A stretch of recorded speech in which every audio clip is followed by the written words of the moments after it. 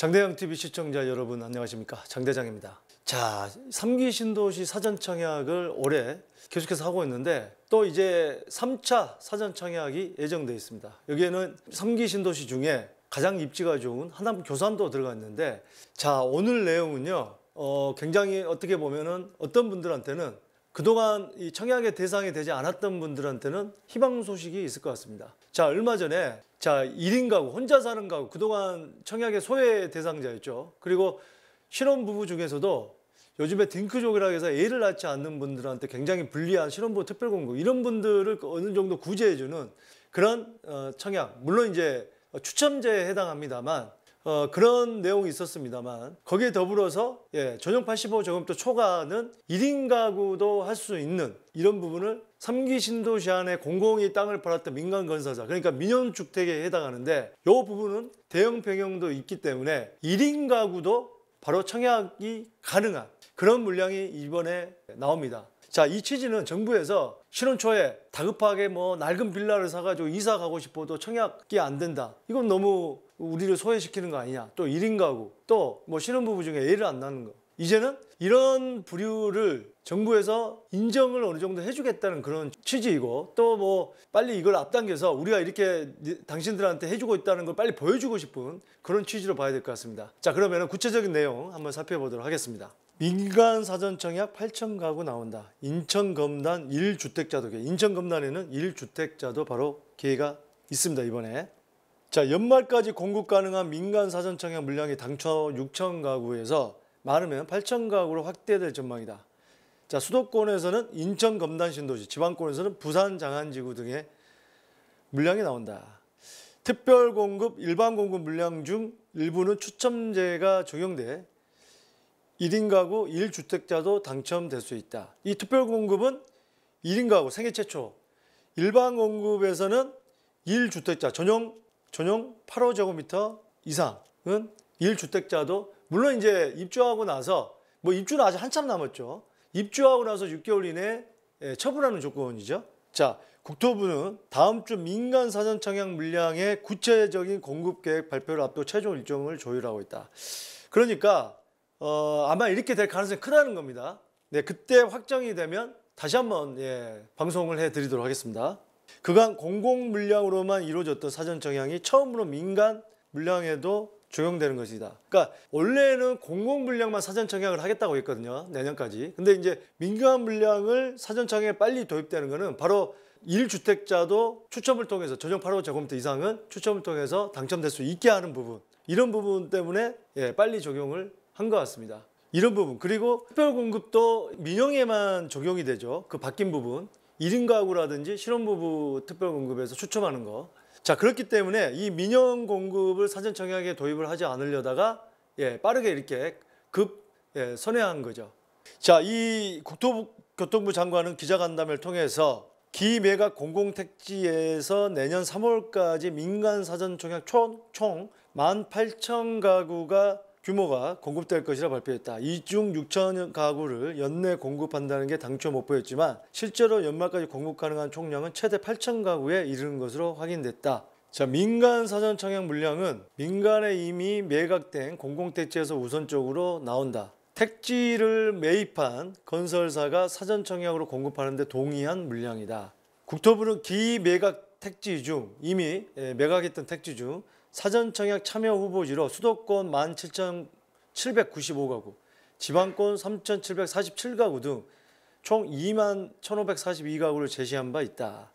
자, 이 수도권에서는요. 양주 해천, 오산 세교 2지구, 인천 검단, 파주 운정 3지구, 화성 동탄 2지구, 의왕 고천, 평택 고도. 자, 지방권에서는 김해 진례, 부산 장안, 남청주 현도, 울산 다운 이 등이 포함됐다. 자, 그러니까 지금 말씀드린 부분은 어 1인 가구라든지 그 다음에 1가구가 유주택자, 주택 한 채, 두 채는 안 됩니다. 한 채를 가지고 계신 분이 나중에 처분 조건으로 어 바로 청약을 할 수 있는 전용 8호 저금도 이상 생애 최초 특별공급은 1인 가구가 해당되겠고 신혼부부 특별공급은 어, 애가 없는 사실상 자녀가 없으면 불가능한데 이런 분들한테 추천 물량이 가는데 그런 분들이 이 민간 사전 청약 물량에 해당되기 때문에 요 그러니까 본인이 거주하고 있는 곳 또는 어, 사전 청약 사전 청약을 하고 싶은 곳을 잘 봐두시라는 거죠. 그래서 장대장 TV를 꾸준히 보시면서 이 정보를 얻어가시길 바라겠습니다. 자 어쨌든 간에 이 국토부와 이 민간 건설사랑 최종 공급 일정을 조율 중인데 인천 검단은 1,300가구, 부산 장안은 500가구 등 일부는 일정이 일정이 확정된 것으로 알려졌다. 그러니까 임천 검단하고 부산 장안 확정이 됐고 나머지는 조율해서 아마 이제 며칠 내로 발표를 할 것 같습니다. 자, 인천 검단 신도시에서 AB 20-2 블록에 들어서는 1,438가구 규모의 단지 중 1,295가구가 사전 청약 물량으로 예정돼 있고 전용 85제곱미터 초과 대형 면적도 면적도 450가구 계획돼 있습니다. 그러니까 지금 1가구 유주택자도 이 검단 신도시에 450가구는 어, 바로 청약에 임할 수 있다. 이게 이제 12월 사전 청약으로 공급될 예정이라고 합니다. 그러니까 이 정보 잘 아시고 진행하면 되겠죠. 사전 청약은 그 전에 이사 가서 발표 전 내 이사 가 있으면 됩니다. 그리고 본 청약까지 그대로 유지만 하면 되기 때문에 부산 장안지구에는 B2 블록에 짓는 531가구 중에 504가구가 이르면 이달 말 사전 청약을 진행할 전망이다. 전 가구 전용 85제곱미터 이하 중소형으로 구성됐다. 여기는 유주택자는 안 되겠네요. 추첨이. 자, 이게 민간 사전 청약 참여 후보지 현황입니다. 이번에 이 몇 가구 조금 전에 제가 얘기를 했지만 구체적으로 몇 가구씩 공급을 하는지 청약 대상인지 이 부분을 필요하신 부분은 확인을 하시기 바라겠습니다. 자, 이건 제가 어, 서두에 말씀드렸던 부분이 나오네요. 민간 사전 청약은 공공 사전 청약과 달리 특별 공급과 일반 공급 물량의 추첨제가 도입된다. 그러니까 특별 공급에는 자녀가 없는 실혼부부 이게 실혼부부 특별 공급이고요. 1인 가구는 생애 최초 특별 공급입니다. 민간 사전 청약이요. 1주택자도 청약이 될 수 당첨이 될 수 있다는 게 가장 큰 특징이다. 이거는 일반 공급이죠. 1주택자는 전용 85제곱미터 초과에 거기에 이제 추첨제를 할 수 있는데 중요한 것은 뭐 이제 지역에 따라 다를 수 있겠지만 75%는 우선 공급이고 나머지 25%가 해당되기 때문에 또 그 부분이 어, 25% 가지고 추첨을 해야 되기 때문에 상대적으로 그렇게 많은 물량은 아니다 라는 부분도 알아두셔야 될 것 같습니다. 자, 특별 공급의 경우 신혼부부 생애 최초 특별 공급 물량의 30%의 추첨제를 적용한다. 제가 그 부분은 방송을 해드렸습니다. 며칠 전에 해드렸기 때문에 그 부분 잘 참조를 해 주시길 바랍니다. 추첨제 물량에 대해서는 소득 기준을 보지 않고 소득 기준이 없습니다. 추첨제는 신혼 특별 공급은 자녀 수, 생애 최초는 혼인 여부를 따지지 않는다. 따지도 않고 묻지도 않는다. 야, 이순재 씨의 예, 광고 멘트가 생각납니다. 따지도 않고 묻지도 않고.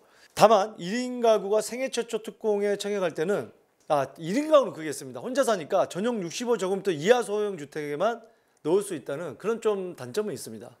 자 여기 나오죠. 또 무주택자에만 공급되는 공공사전청약과 달리 유주택자도 분양받을 수 있다. 일반 공급 중 일부 물량이 추첨제로 공급돼서다. 투기과열지구의 경우 전용 85제곱미터 초과 물량은 가전제와 추첨제를 50대 50 비율로 공급한다. 1주택자도 기존 주택을 처분하는 조건으로 추첨에 청약할 수 있다. 다만 추첨제 물량 중에서도 75%는 무주택자로 우선 공급되기 때문에 당첨 확률이 낮다. 자 그러니까 무슨 얘기냐면 투기과열지구 하남교사는 투기과열지구에 들어가겠죠. 그러면 이게 100이다 그러면 100가구를 모집한다 그러면 전용 85제곱미터 초과 물량이.